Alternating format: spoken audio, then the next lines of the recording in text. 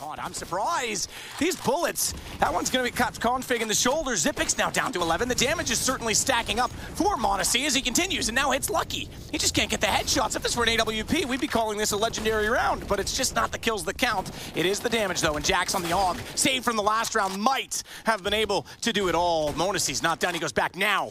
His early damage matters. He only needs the single shots, and they'll put Config on the scout instead to watch over toward Long Hunter.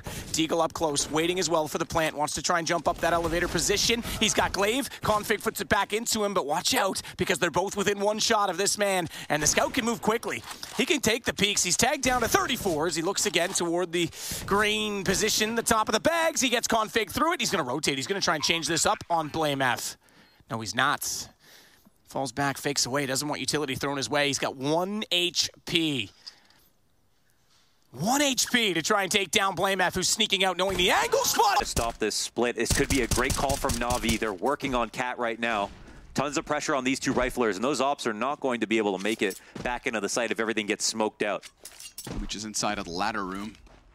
Not yet a piece of this execute, and the smoke is not yet thrown. Twist, the utility coming over top, it's his chance to shine. A little bit of damage, double from Twist. He oh. loses karrigan in a third oh. and fourth. The Magician sprinkles a magic trick to the B site, and we find Na'Vi strand.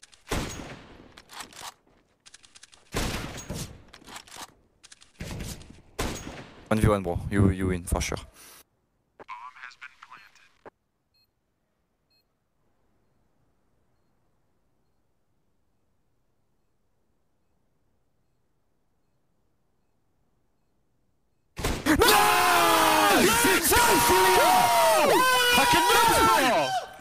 Big bro. Nice!